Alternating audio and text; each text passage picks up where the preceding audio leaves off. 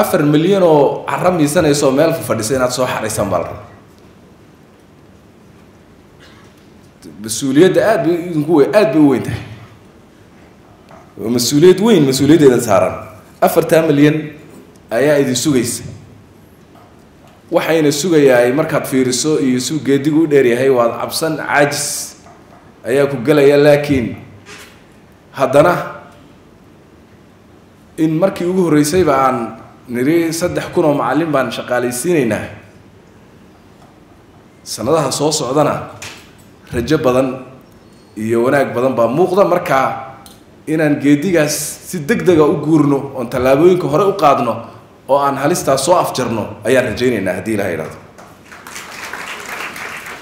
dhinaca kale markaad fiirisana ayadana waxaa jira aragti kale oo cabsi badan oo ah dhallinyaradeenii oo iskuulla soo bartay ka soo baxay oo jaamacado ka soo baxay oo siday wax ku soo barteen ba ilaahay og yahay duruufo ad adag wax ku soo bartay oo dee markay haddana soo dhammeeyeen wixii ay soo barteen oo ay jaamacadihii ka soo baxeen haddana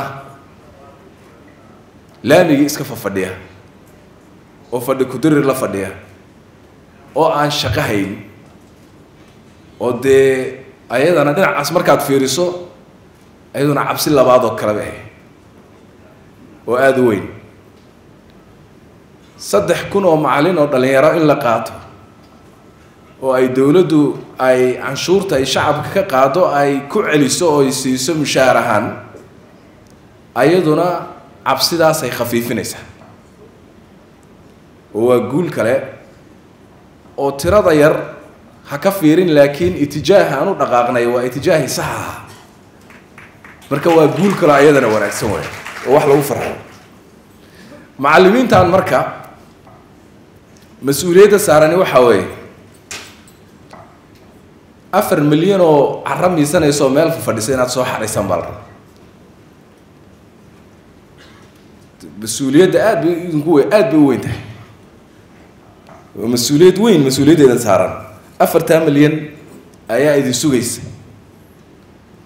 marka tuulooyinkay fafadhiyaan baadiyahay jiraan magaalooyinkay fafadhiyaan i d b kamiska ay dhex fafadhiyaan guryahay iska joogaan marka waa in aada ogaato in aada mas'uuliyadda aada maanta ku fuushay ama ku lagu saaray in ay tahay mas'uuliyad aada u culus oo ah mas'uuliyad qaran marka u diyaar garow sidii aada mas'uuliyaddaas macallinow uga soo bixi lahayd.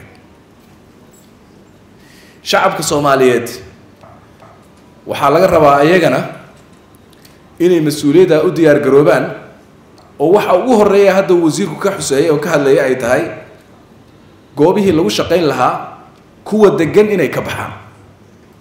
Kuwa dana yaryar oo khaasa ku haystaan inay banneeyaan in la diyaariyo meeshii lagu ubadka wax lagu bari lahaa. Inay dadku ka qayb qaataan. Dowladdeennu tabarteedu waa intaa wayse dadaalaysaa. Inta kale ee dhiman shacabka inay buuxiyaan la rabaa markaa la buuxiyo. Waktigu waaba la addimay baan filayaa oo hadal badan iguma sii jiro oon sii sii wado laakiin waxaan dhihi lahaa waxyaabaha aan ka barannay procedurkii wanaagsanaa ee ay wasaaraddani runtii hormuudka ay xukuumadda ugu tahay waxa weeye waa arrinta uu wasiir xasanna ka hadlay ee cadaaladda iyo meritocracyga iyo in wax walba waxaan ku dhisnayn four point five oo aan qabiilaysnayn oo aan si kale aan nepotism iyo qaraabaysi iyo kooxaysi aan lahayn in inta online-ka lagu sii daayo in la yidhaahdo tartama soomaaliyeed ayadaa runtii ayaa soomaali tustay wasaaraddanaa tustay waana laga faa'iiday. Wasaaradda labaad ee ku xigtay waxay ahayd wasaaradda awqaafta iyo arrimaha diinta oo arrimaha xajka aada ogtihiin ayadana. Habkay u habeeyeen oo isla dariiqadii maray waxaan rajaynaynaa ayagana ku maqan oo qorshe weyn oo reform ah ku maqan wasaaradda shaqada iyo shaqaalaha. Shaqadii oo arrimaha bulshada. Oo ayadana wadda in shaqada dowladda oo dhan ay noqoto sidaas.